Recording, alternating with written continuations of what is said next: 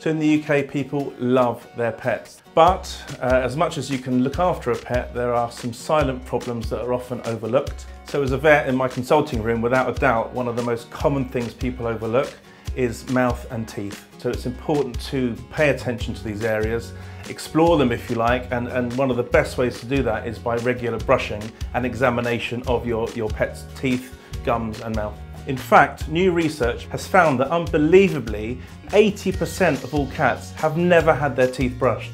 Daily brushing means daily examining, it means you pick up problems early. So by keeping your pet's teeth clean, you're actually prolonging its life and actually making sure it's happier and healthier at the same time. Now, contrary to popular belief, brushing your pet's teeth is actually really easy and fun. All you need is some special toothbrushes, you need pet-friendly toothpaste, and then you start brushing their teeth. Um, they like it, it's a bonding experience, uh, you can have fun with it, and because it tastes nice, it's actually a treat as well. And in the long run, it's going to save you loads on vet bills. So the main reasons people don't brush their pet's teeth is because a lot of them don't realise they need to. They have perhaps had a negative experience with brushing maybe once or twice and given up. People think that just supplying a chew toy or a chew stick is enough. It's an alternative.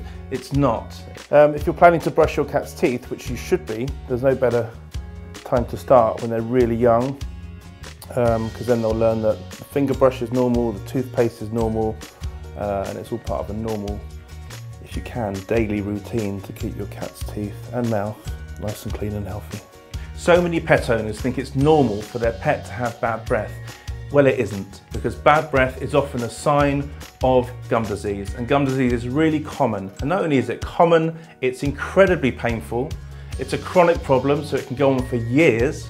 Uh, it's expensive to treat, and the most important thing to remember, it's totally preventable. If you're worried about your pet's teeth, call your vet, it's quite simple. And really choose an insurance policy for your pet that includes dental treatment. It couldn't really be simpler.